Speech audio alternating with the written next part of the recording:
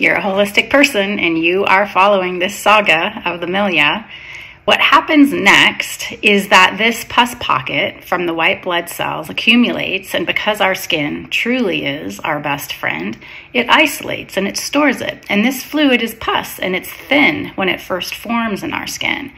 And if our skin is hydrated and dewy and soft and permeable, and our self cleansing mechanism is activated, our skin has the ability to push that whitehead out, that pus pocket out, and it's just a whitehead. You squeeze it, it's gone, end of story. However, when that doesn't happen, Stay tuned for the next reel. I will tell you the devastating results.